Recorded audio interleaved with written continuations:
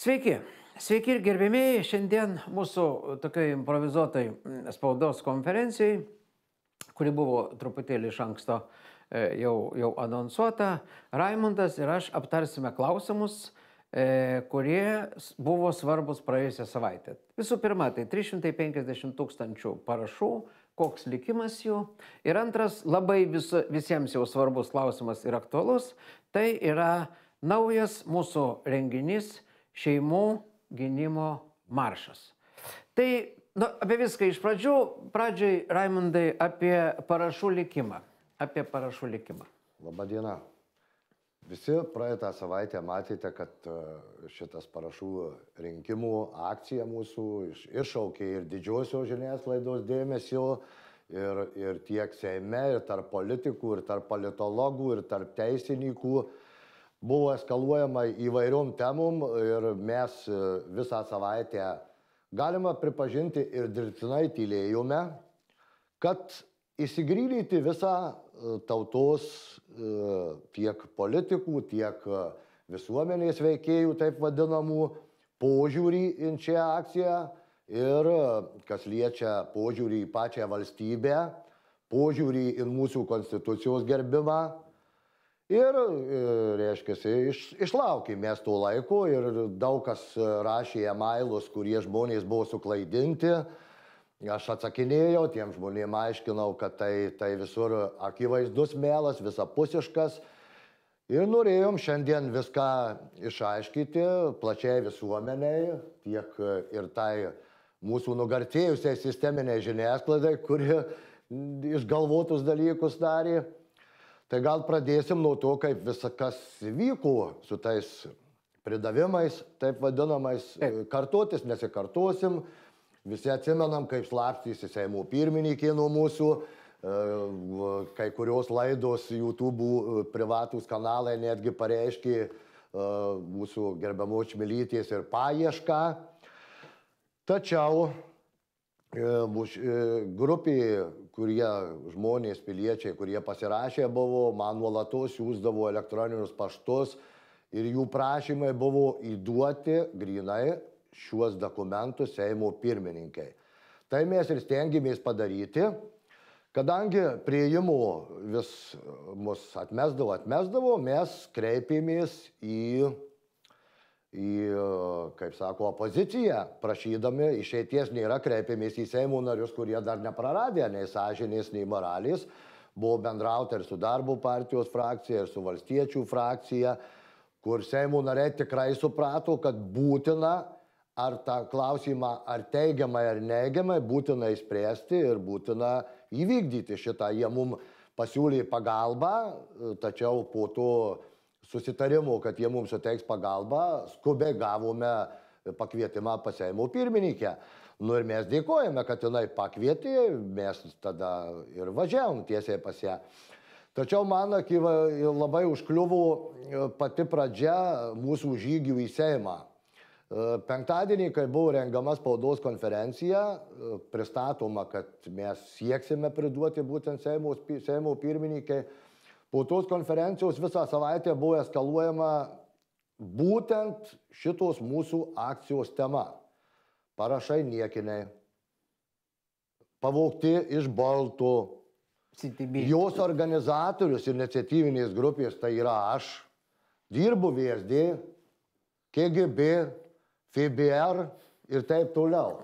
Nu, juokingi prasidėjo klydesiai ir tie klydesiai pasidėjo iš mūsų gerbiamų signatarų, kurį aš visus 30 metų stebiu ir aš jo nuomonę pasgerbdavau nuomonę ir man buvo tokios mintys dėl jų tų įkurtų organizacijų, kuriuose dirba, kad netgi palaikyti ir stoti greta su juo.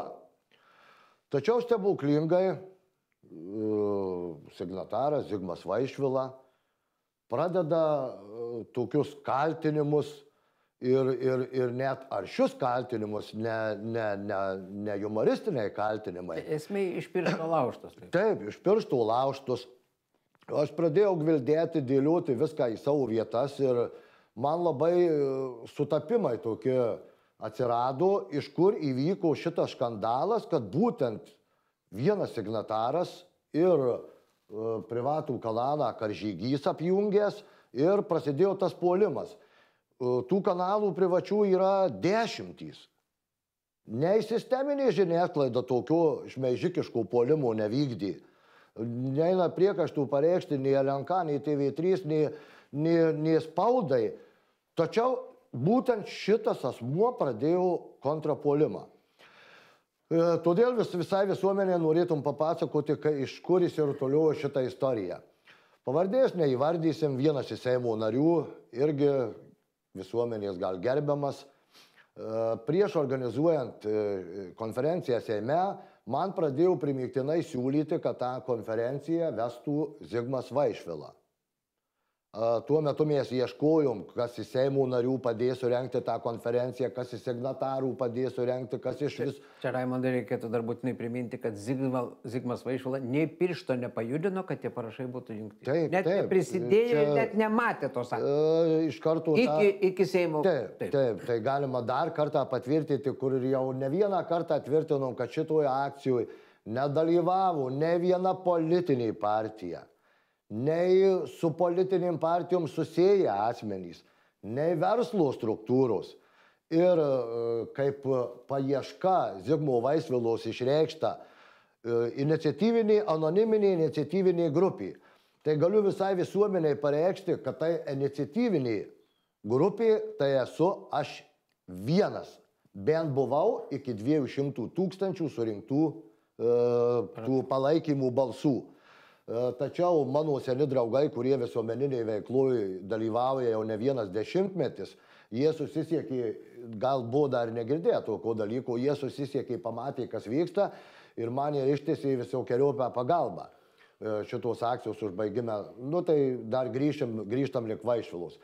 Reiškia, primiktinai buvo prašoma, kadangi jaunas, energingas, tautos gynėjas, Saliginai jaunas. Taip, tri, nu, politiškai stiprus, turi palaikymą visuomenėje, gal reikėtų kreiptis į Zigmą Vaišvilą. Mano buvo pasakymas, e, aš labai norėčiau, kad tą konferenciją kažkokiais metodais sudarytų galimybę ne dabartiniai politikai ir, nu, kur nesusiję. Taip. Ir mano seni pagalbininkai, visuomenininkai, kurie jau man ištiesi pagalbos ranką po tų 200 tūkstančių surinkimų, e, kokiais kanalais, kaip, e, nesigilinsim, man sudarė galimybę tą konferenciją surenkti ir dėka visavus garbaus, šeimas palaikančių visą laiką ir, ir tais laikais, ir dabar e, mūsų gerbiamos signataro Andriukaičio dėka. Ir mes jam dar kartą norim už tai padėkoti, nors e, sužinoję būtent tam tikros jėgos, kad e, tą konferenciją organizuos Andriukaitis, aš tikrai įsivaizduoju įrodymų neturiu, kadangi e, susidarė vaizdas, kad jisai gavo didelį spaudimą, kad atšaukti tą konferenciją. Aš akivaizdžiai mačiau, akivaizdžiai mačiau. Ir e, aš traktuoju kaip e, signatarų gal įsižeidimas, tautos gelbėtojas liko nuo šalyje, nuo šitos akcijos. Antras įsižeidimo būdas, kadangi Tai dešimt... gal vaišulas. Va, dėl vaišvilo šnekam. Antras įsižeidimo būdas, kadangi jų jų prieš tai buvo su Kepėniu Seimo narių konferencija kažkokia kita tema 10 val. Akivaizdžiai matėsi, kad ta konferencija nesulaukė absoliutaus dėmesio, sėdėjo gal vienas žurnalistas, o mūsų konferencijoje buvo likę pusę valandos, e, buvo jau atvykę ir sisteminės žiniasklaidos, ir privačių kanalų. Gal šitas, šitas įsižeidimas Pavydas. ir, ir prasidėjo sistemingas puolimas. Iš tikrųjų, to trukdymo parašam rinkti buvo labai daug ir, ir spamus siuntė, ir, reiškia, ir, ir bandė su kompiuteriniais, e, reiškia, specialistais sugriauti visą tą parašų rinkimą. Ir po to bandė menkinti parašus. Jie netikri, jie netokie, netai pasirašė, jie negalioja. Atseit, netgi Seimo pirmininkai pareiškė, kad net nematė tų parašų. Taip. Nors Raimondai, kaip pats sakei, atėjai į Galiu kabinetą, atverti ir parodė. Vardas, pavardė, telefonas, Tai adresas. aš papasakosiu. E- Elektroninis paštas, vardas, pavardė. Seimo pirmininkė visą tą matė, bet išėjus iš kabineto jinai vėl sako, žinokit, aš gavau dvi dėžes ir net nežinau, kas tose dėžėse. Jinai, e, sakykime taip, pasakė švelniai tariant netiesą. Trukdymo buvo labai daug. Kokia, koks dabar likimas to parašų? Tai dar norėčiau truputį, e, visuomenė nematė, kas vyko e, Seimo, Seimo pirmininkės kabinete, todėl irgi norėčiau paviešyti. A, taip. Kaip visi matėm ir filmuotojų medžiagoje mus pasikvietė, pasisveikino tradiciniu metodu kumštis į kumštį. Tai gal sustiprys visuomenės bendravimą su Seimo pirmininkė, vis dėlto kumštis į kumštį kažkur gražiai atrodo. E, aš prieš įeidamas e, specialiai pasėmiau vieną papkę, kad e, būtų galimybė pirmininkės akių parodyti tuos, tuos parašus. Ir prasidėjo diskusija, Seimo pirmininkės tradicinės temos nukreipimas, kas tai yra demokratija Lietuvoje, kad demokratija čia pasižeis, viskas taip toliau, kad Seimo pirmininkė negali kištis į žmogaus teisų komiteto pirmininko atleidimą tai suprantama eiliniam piliečiui. Seimo pirmininkė tikrai negali atleisti, tikrai negali priversti, bet mes buvom išreiškę kalboje savo, e, taip suprantam Seimo pirmininkę, bet mes tikimės, kad jūs bent šį klausimą iškelsite valdančiųjų daugumui. Šį klausimą perduosite e, Laisvės partijos frakcijai ir e, gali mano kolega Viktoras, kuris buvo šiuos žodžius atkartot, kad Seimo pirmininkė prižadėjo šitą klausimą iškelti. Užmė, bet, užmė. bet, kad, bet kažkodėl išėjus, reiškia, iš žurnalistų, kai, nu, prie žurnalistų, kai žurnalistai paklausė, ką bendravot, ką kalbėjot, šitų klausimų kažkodėl nepaminėjau.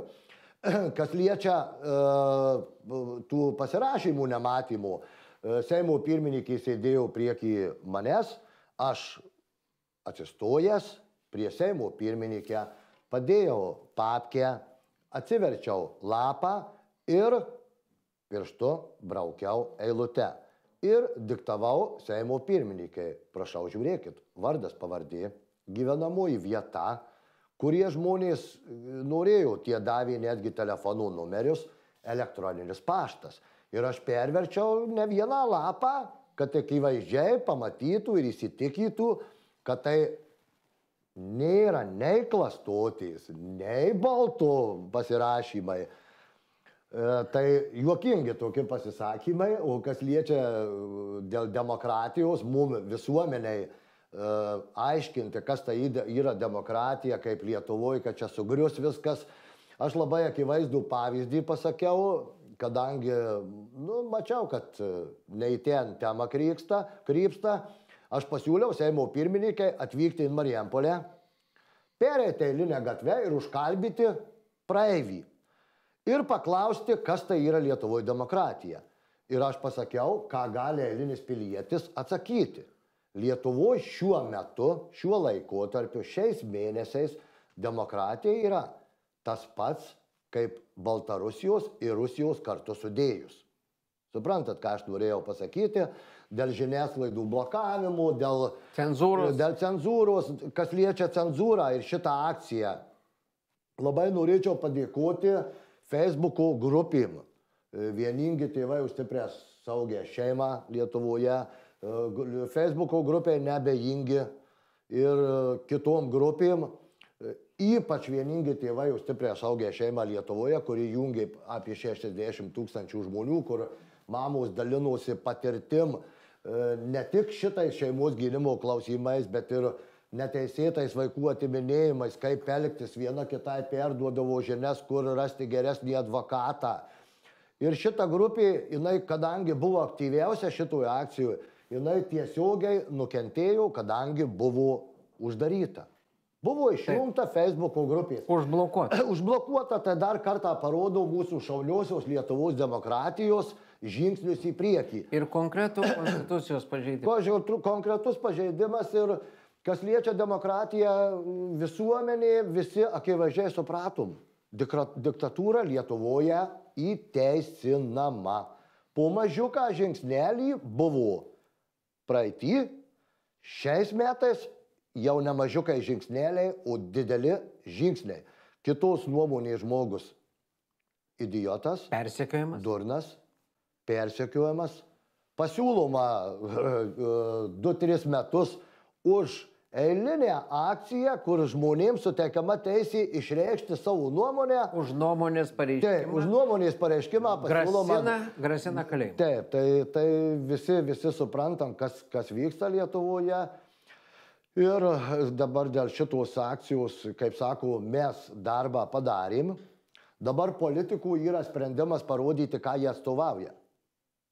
Dabar labai akivaizdus atsirinkimas, netgi ne tos vadinamos daugumos, kur dabar mes galime stebėti, ar dabartiniai opozicija ims ginti žmonių nuomonę. Taip. Tai čia valstybės, pamatysim dabar šitą akciją, viską mes išgrynysim. Aš tik tai vieną Viską. klausimą, Raimondas, dar turiu. Ar buvo kokio nors signalų slaptų, neslaptų iš prezidentūros? Iš prezidentūros jokių net klausimų. Tyla. Apsi, apsi, absoliuti tyla.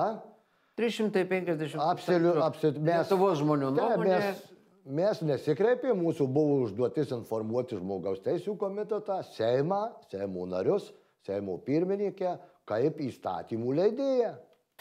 Raimondai, e, čia ir, ir Facebook'e buvo daug komentarų, reiškia, visi klausinėjo, e, vieni sako, ai, čia vis tiek nieko nebus, jis vis tiek praloš, čia vis nieko nepasieks. Mes jau pasiekėm. Jau pasiekėm tai, kad besislapstanti Čmilytė vis dėlto buvo priversta priimti tos parašus.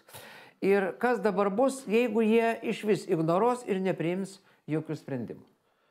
Šitas klausimas, kad e, nieko nebus, jau jisai buvo keliamas ir, ir nuo pačio pirmo parašo, kur- ne parašo, o tuos duomenų apklausos, kur uždėjau aš ir mano žmona, buvo keliamas klausimas.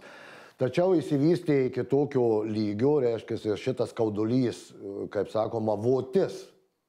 Jinai dabartiniais daugumos politikos, kas yra įvykdyta votis progo ir aš vis tiek tikiuosi sveiku protu, Aš tikiuosi, kad valdančiųjų dauguma politinės savižudybės tikrai nedarys. Taip. Nusispjaut į šitiek, e, šitiek piliečių apklausą vadinamą, kurie tam iškėlė tikrą klausimą, negalima. Tai gali šitas, šitas nusispjovimas, jisai gali dar trigubai sukiršyti tautą ir pareikšti nepasitikėjimą. Tuo labiau, kad Seimo pirmininkai kabinete ir pabrėžiau tą dalyką, kad man labai malonu Seimo pirmininką, kad Lietuvoje mes šitą klausimą iškėlėme be piketų, be mitingų, be demonstracijų, o paprastu šiuo laikiniu pandemijos metu labai tinkamu elektroniniu būdu. Taip. Ir dar tikiuosi ne tik daugumos, bet ir dabartiniai Seimo opozicijos, dar sveiko proto nepraradusių Seimo narių tiek vienoj partijoje, tiek kitoje ir, ir darbo partija pritarė ir, ir valstiečiai, ir, ir lenkai, kiek girdėjau, oficialiai nepareiškia, bet jie, jie, jie tikrai nori atstovauti žmonės ir dabar šiuo metu yra labai galimybė atsirinkti, kas į Seimo narių kokios frakcijos atstovauja žmonių interesus, o kurios frakcijos atstovauja kažkienų interesus, interesus. užslėptus interesus, neišgarsytus interesus, nepaviešintus. Tai e, dabar kokie tolimesni veiksmai tada? Toli veiks, tolimesni veiksmai, kaip, kaip ir planavom, šitą akciją pasibaigtų į teigiamą pusę visuomeniai, ar jinai į neigiamą. Mes planavom kitus renginius, kadangi e, problemos tos ne tik šita problema, iškilus Stambulo konvencija, iškilę partnerystės įstatymai, tai čia kas jau susiję su, su visu ir konstitucijos grovimu, ir valstybės grovimu, čia palies, palies kiekvieną šeimą, kiekvieną mūsų visuomenės narį, nes e, dauguma visuomenės jau taps kažkurios visuomenės grupės įkaitu ir jie turės gyventi po diktato sąlygom. Tai buvo suplanuotas ir jau gruodžio mėnesį kažkur diskutuota tarp bendraminčių, kad būtina atkreipti dėmesį ir organizuoti stiprią akciją. Stiprią, apjungiančią visą Lietuvą. E, Mano mintys buvo analogiškas Baltijos kelio pavyzdys. Taip. Aišku, aišku, gal truputį mažesnės apimties, bet suplanuotas didysis šeimos gynimo maršas. Tai yra automobiliai nuo Klaipėdos jungiantis visiems miestam, viena kolona, pagal bendrą projektą ir, ir brėžinį trys kolonos turėtų būti, viena iš Klaipėdos, kita nuo Ignalinos pusės, kita nuo Druskinykų. Ir apjungti nebejingus žmonės, kuriem dar rūpi valstybė, kuriem dar rūpi jos ateitis, kur rūpi jų vaikų ateitis, anūkų ateitis. Aš asmeniškai, mano vaikai užaugyti, aš galėčiau kaip ir likti nuo šaly bet yra mano anūkai, kur man, man net tas pats, kas po manęs, po manęs liks. Ir išdiskutavo šitą klausimą mes gavome milžinišką palaikymą iš tų asmenų, kurie buvo e, būtent dėl žmogaus teisų komiteto pirmininko darbo, tam išreikštam reikalavime, milžinišką palaikymą gavom iš tų asmenų, milžinišką emailų žinučių kiekį į telefoną ir į elektroninį paštą. Ir mes priėmėm skubų sprendimą. Skubų sprendimą, nedelsiant pradėti pasiruošimą. Kadangi visi puikiausiai žinom karantino šiuo metu savivaldybių uždarimai, negalimas judėjimas, šitų renginių surenkti šiandien rytoj negalima, todėl mes turime pakankamai laiko ieškoti rėmėjų, ieškoti palaikymo, e, pasidaryti normalią programą, pasidaryti scenarijų, susiderinti su kelių direkcija, kaip pabrėžiu, jau mes žodiškai viską derinome, bus tuoj pateikti dokumentai ir apsvarstyta kelių direkcijoje. Ir aš įsivaizduoju, kad gali įsipildyti pono Tapino svajonį, kaip jisai paminėjo savo laidoje, kaip 300 tūkstančių Lietuvos piliečių pražygiuoja Gedemino prospektu. Tai e, mes planuojam užbaigimą šios akcijos Vilniuje E, būtent ar nu, su savivaldybė Vilniaus irgi bendrauta tinkamiausias pagal automobilių kiekį e, kažkur Vingio parke ar, ar kažkokioj didelėje erdvėje. Nes prognozija automobilių kiekio, aš suprantat, net baisu, baisu ką planuoti, kadangi pagal palaikymą tų automobilių gali būti ir tūkstantis, bet gali būti ir dešimt tūkstančių. E, tai bendras vaizdas turėtų būti Įspūdingas. Taip, taip, tai būtų taiki, konstitucijos numatyta, su visais suderinta uh, nu, akcija, kurie, kurie mums leidžia daryti visi Lietuvos Respublikos įstatymai. Pabrėžiu, kol kas leidžia, kol kas leidžia, nieks negali pasakyti, kas bus rugsėjai. Va. Niekas negali pasakyti, todėl patį kreipimąsi, tekstą mes daugmaž parengę ir gal Artūras galėtų visuomeniai tą kreipimąsi pranešti. Jo, tai aš noriu tiesiog parašyti, kad renginio, e, reiškia, devizas yra stipri šeima, stipri valstybė. Lietuvos valstybė kūrė tauta. Niekas negali varžyti ar riboti tautos suvereniteto savintis visai tautai priklausančių suverenių galių, tauta ir kiekvienas pilietis turi teisę priešintis bet kam, kas prievarta kesinasi į Lietuvos valstybės nepriklausomybę, teritorijos vientisumą, konstitucinę santvarką, tautos istoriją, kalbą ar šeimos vertybės. Šeima yra visuomenės ir valstybės pagrindas. Valstybė saugo šeimą, motinystę, tėvystę ir vaikystę. Santoka sudaroma laisvų vyro ir moters sutarimu. Svarbiausi valstybės ir tautos klausimai sprendžiami referendumu. Tai yra žodžiai iš Lietuvos Respublikos konstitucijos priimtos 1992 metais visuotinėme tautos referendume. Kodėl dabar priešiškos valstybė jėgos nori per brukamą jėgą Stambulo konvenciją sutrypti Lietuvos Respublikos konstituciją ir visuomenės bei valstybės pagrindą šeimą. Kodėl neskelbiamas referendumas svarbių visai tautai klausimų? Kodėl pastoviai pažeidinėjamas Lietuvos Respublikos konstitucijos 44 straipsnis, kuriame sakoma, kad cenzūra draudžiama ir niekas nei valstybė, nei politinės partijos, nei UABai, nei Facebookai neturi teisės ir negali monopolizuoti masinės informacijos klaidos. Mes, didžiojo šeimos gynimo maršo organizatoriai ir dalyviai, atsakingai pareiškime, kad taikaus maršo tikslas yra atkreipti pasiklydusios vertybėse Seimo daugumos dėmesį, kad tauta ir kiekvienas Lietuvos Respublikos pilietis turi teisę ginti Lietuvos Respublikos konstituciją įtvirtintas vertybės. Visi prisijungę prie didžiojo šeimos gynimo maršo nepritarė ultraradikalių globalistinių organizacijų ir prieštaringai vertinimų bendruomenių brukamai gender ideologijai, vaikystės seksualizavimui, tradicinės šeimos vertybių menkinimui ir niekinimui ir ryštingai pasisako prieš bet kokius bandymus, neatsiklausus tautos, priminėti įstatymus, kurie prieštarauja visuotinai priimtoms moralės normoms ir vertybėms. Lietuvos Respublikos konstitucija yra aukščiausias ir svarbiausias įstatymas priimtas visuotinėme referendume. Ir visi Lietuvos piliečiai, nepriklausomai nuo tikėjimo, rasės, lyties, tautybės, seksualinės orientacijos ar politinių įsitikinimų, privalo jo laikytis be jokių išimčių. Visa tauta, visi kartu 1992 metais referendume prieėmė svarbiausią vertybinį dokumentą ir dabar visi kartu galime ir turime jį apginti nuo mėginimo sunaikinti visą tai, kas tautai brangiausia. Parodykime, kad mes žinome, kas mums meluoja. Parodykime, kad mes žinome, kas mus nori apgauti. Parodykime visam pasauliui, kad didžiosios Lietuvos kunigaikštystės dvasia yra gyva, galinga ir nenugalima.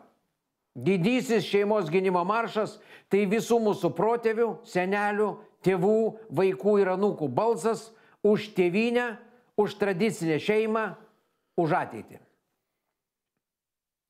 Čia tokia yra mūsų bendra deklaracija, tokie yra mūsų tikslai šito žygio.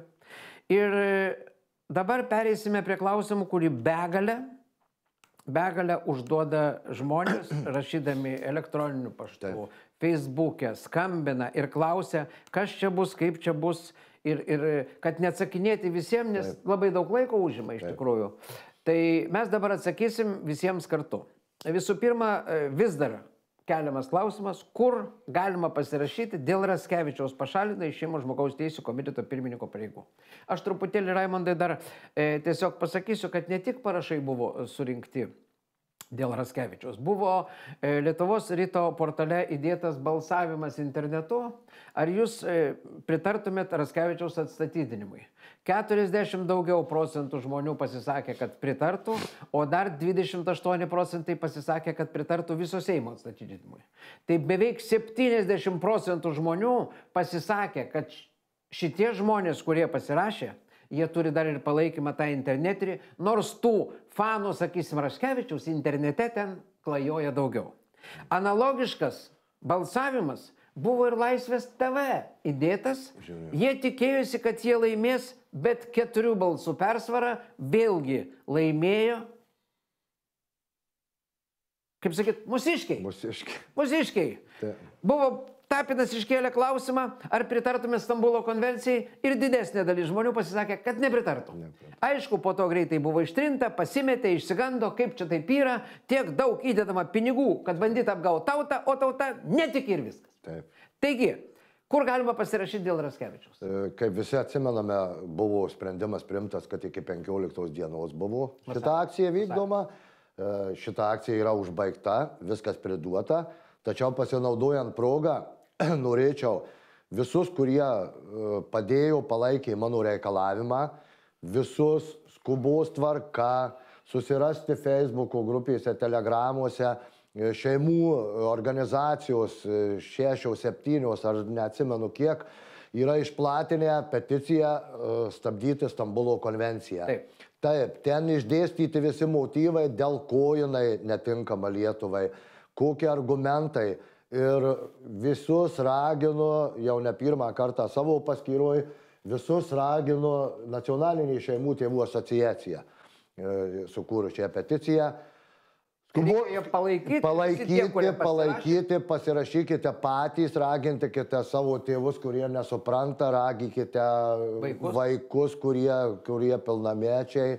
Tai yra, tai yra dar, dar net svar- svarbesnis, svarbesnis pasirašymų šitas peticijos aktas negu mūsų įvykdyta akcija. Ir kadangi visi pamatėm, kad visuomenė tikrai atsibudus, darom viską, kad būtent užkirsti ir tai Stambulo konvencijai, kur mūsų e, didžiajam šeimų gynimo marše irgi pagrindinis klausimas būtent šitą Stambulo konvenciją. Tai dar kartą vienijamės visi, visi, visi kartu, tik kartu galim sustabdyti šitą. Taip. Tai kada įvyks e, šeimų gynimo maršas? Šeimų gynimo maršas, kaip minėjau, dabar yra uh, apribojimai savivaldybių, todėl mūsų darbinė grupė vadinama uh, iš karto kibo į darbus nelaukiant visų atidarimų, kadangi taupom laiką, ieškome rėmėjų, viešinsime žmonėm, visuomenė, kad susirinktų tikrai, tikrai, tikrai daug dalyvių ir Iš karto atlaisvinus bus galima. Taip, iš karto be data. Taip, bus iš be jokių atidėjimų, iš karto tik atlaisvinus savivaldybės, mes kubos tvarka pasiruošę jau būsim buvę. Nu, pasiruošę jau. Kitas klausimas, kuris dažnai skamba, kas gali dalyvauti šeimos gynimo marše?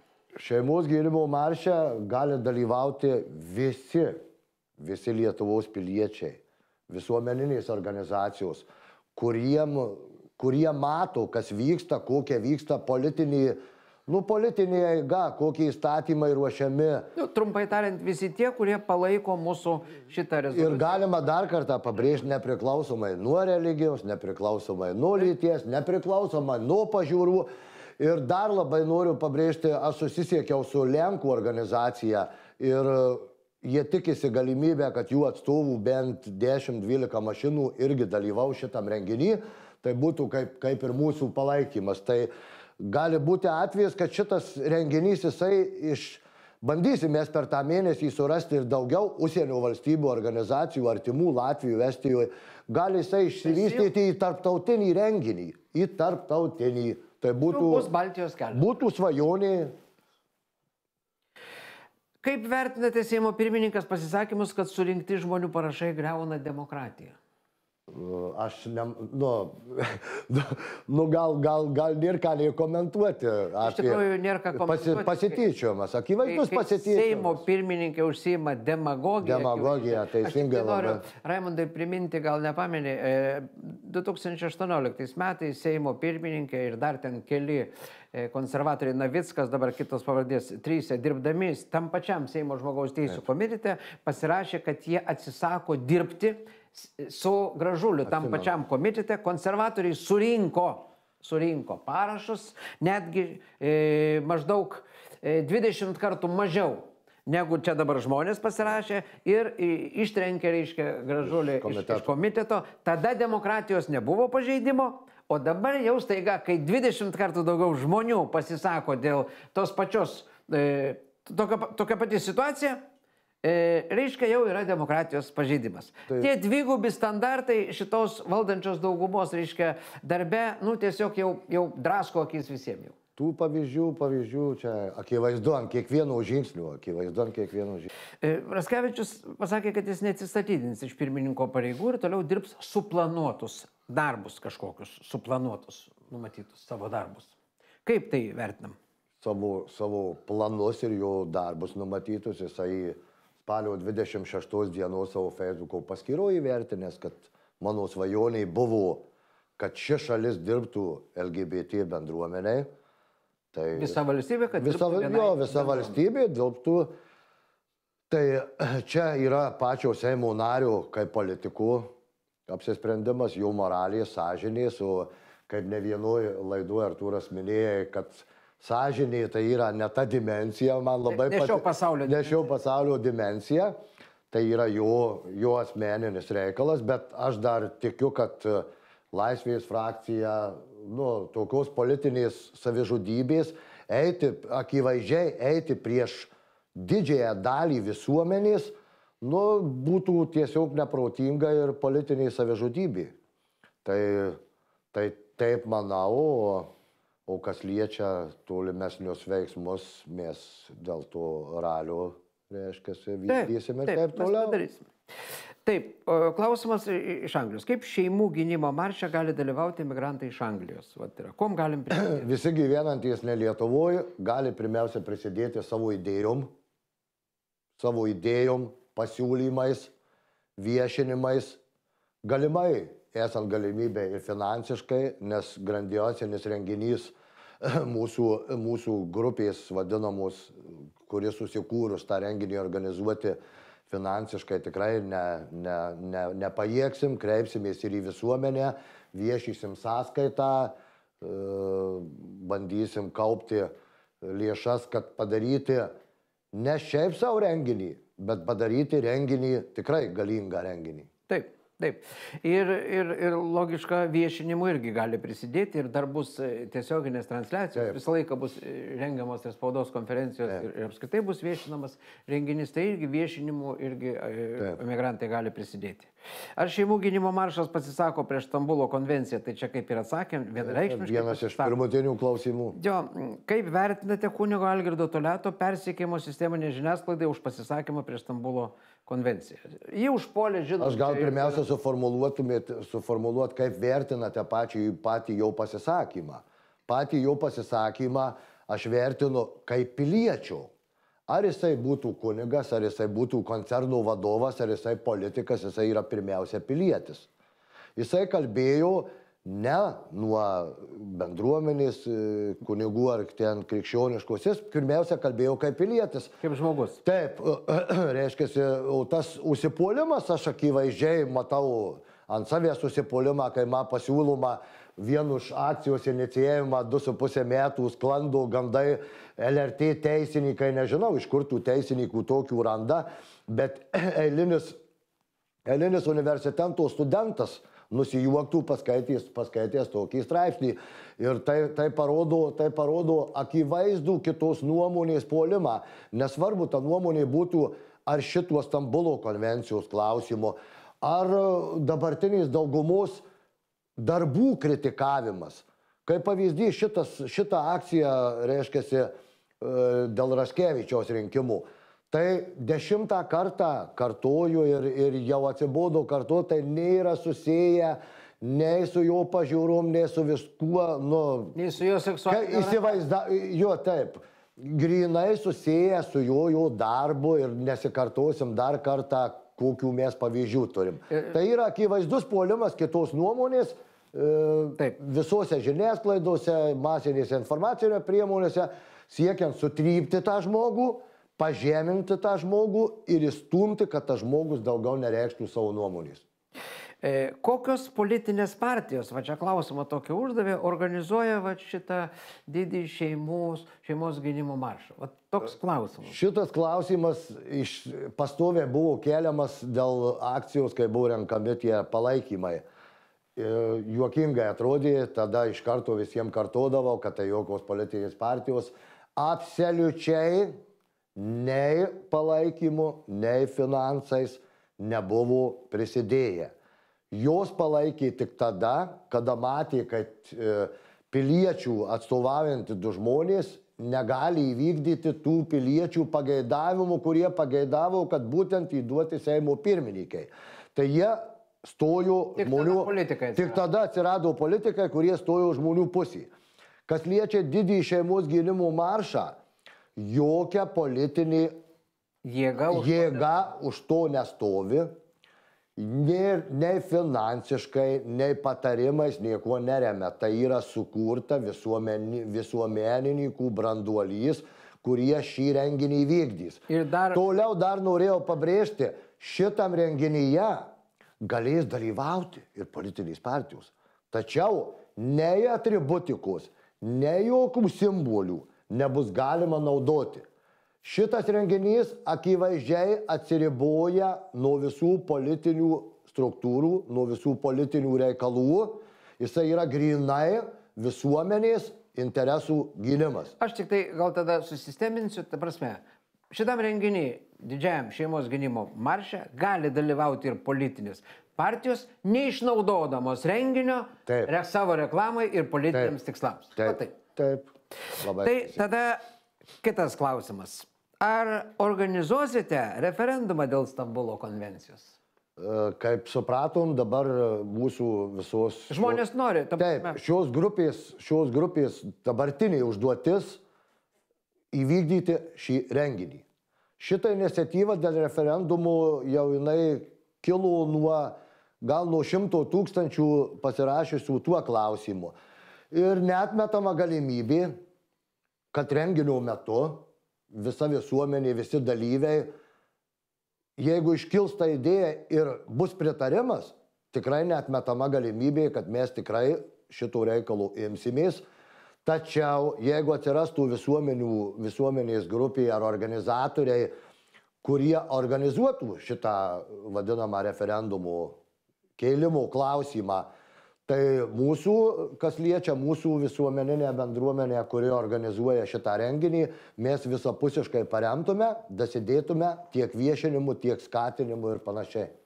Kaip užsirašyti į šeimų gynimo maršą? Norim dalyvauti mes iš Danijos. Kas liečia dėl šeimos gynimo šito maršo užsirašymo, e, skubos tvarka yra daroma Facebook'o puslapiai, daroma internetiniai puslapiai, daroma telegramos. E, Tikimės pirmadienį paleisti į viešinimą visą informaciją, kaip jisai bus vykdomas, kaip atrodys, kaip panašiai. Kas liečia užsirašymą, taip, kada bus darbinė grupė, jau paruoš visus brėžinius, paruoš visą judėjimo sistemą, būtinai bus išviešinta, kiek aš suprantu, pagal tokį automobilių kiekį mes privalėsime susiregistruoti dalyvaujančių skaičių, bent, bent vizualiai matyti kiek, kad pari- paruošti ar tai greitosios pagalbos automobilius, ar tai avarinės tarnybas. E, Šitas renginys turėtų būti su visom įmanomom saugumo priemonėm, su visais įmanomais būdais, netgi samdant apsaugos tarnybas, kad išvengti provokacijų, kurios aš tikrai netmetu galimybės, kad jos bus organizuojamos.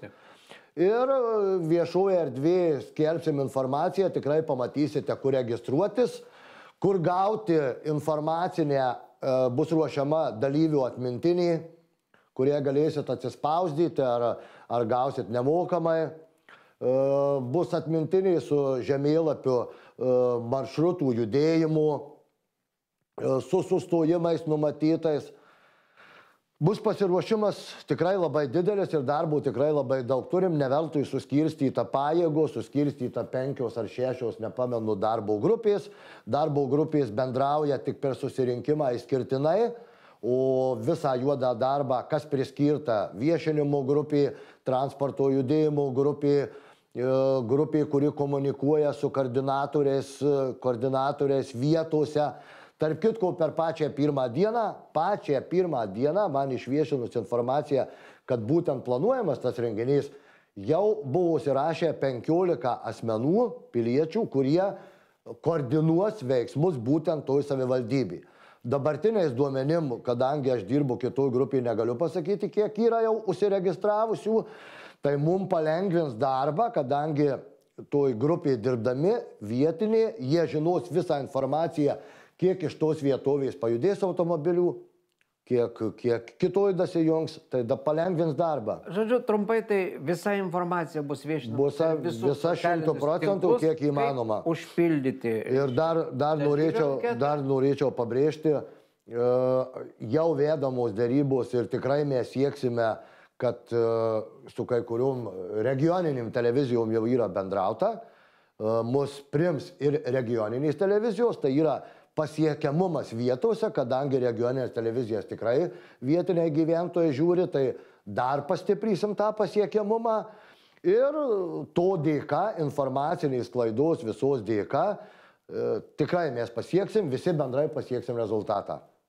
Žodžiu, sekite dabar e, reklamą, aš gale e, laidos e, tiesiog įdėsimės ir, ir parodysim visus kontaktus, kas nori kontaktuoti, visus sąskaitas, ta prasme, kas nori prisidėti remiant šitą renginį, verslininkus jau yra nemažai, yra pageidavimų, visi kontaktai, visos koordinatės bus sudėtos ir bus viešinama dalyvio anketa, visi norintys galės ją užpildyti, atsiųsti ir susisiekti su savo kraštų, Taip. miestų koordinatoriais, kaip toliau elgtis ir kaip toliau vyks visa renginio organizacija. Tai ką, principė visi tie pagrindiniai klausimai, kurie, kurie dažniausiai buvo užduodami ir, ir viešoje erdvėje, ir socialiniuose tinkluose, jie kaip kaip ir atsakyti šiandien. Su jumis buvo Raimundas, Artūras. Iki kitų konferencijų viso geriausio ir tikimės visų bendro palaikymo ir dar kartą pakartosiu, tikimės, kad kuo daugiau mūsų visų pasirašys prieš Stambulo konvenciją e, puslapyje, kurią, kurią jau, jau, kurį jau, jau viešinam. Ir dar įdėsim, reiškia, laidos gale. Viso geriausio.